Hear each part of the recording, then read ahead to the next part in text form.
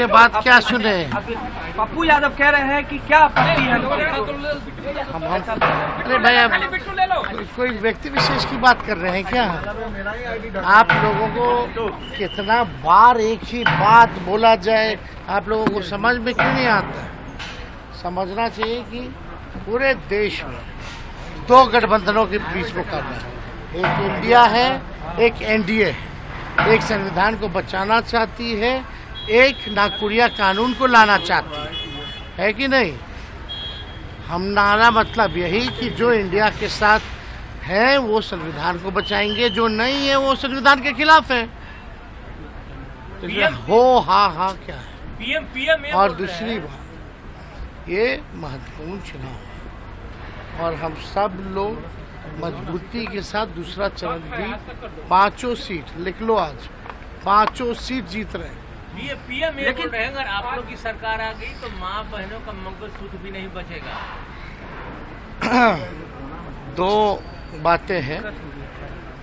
पहली बात कि आज ऐसी स्थिति आ गई जिसकी भी पुश्तैनी संपत्ति थी आज इतनी महँगाई हो गई है कि उसको बेचना पड़ रहा है। ये मोदी जी के राज में हुआ। जहाँ तक सोने की बात है मंगलसूत्र की बात है तो सोने का दाम कितना बढ़ गया?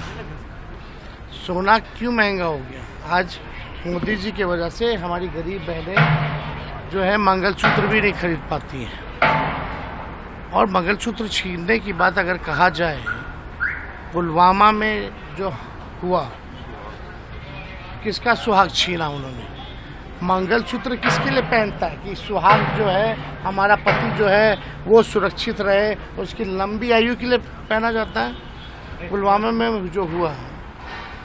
तो किसने सुहाग उसका छीना? चीन बार बार अटैक करता है जवान, हमारे शहीद होते हैं। तो किसकी वजह से हमारा सुहाग छीना? नोटबंदी में कई लोग लाइन में मर गए। किसने सुहाग छीना किसान आंदोलन में 800 भाई शहीद हो गए किसने उनका सुहाग छीना? ये बताइए ना कोविड में जो लोग मरे किसके वजह से? आपको तो इन्फॉर्मेशन बहुत पहले आ गया था। किसके वजह से ये सुहाग छीना भाई? जेपी नड्डा आपके पर इधर उधर की बात ना करें। प्रधानमंत्री को जवाब देना दस साल क्या काम किया? जेपी नड्डा आपके परिवार के ऊपर हमला किया मीसा भारती का मतलब समझाया।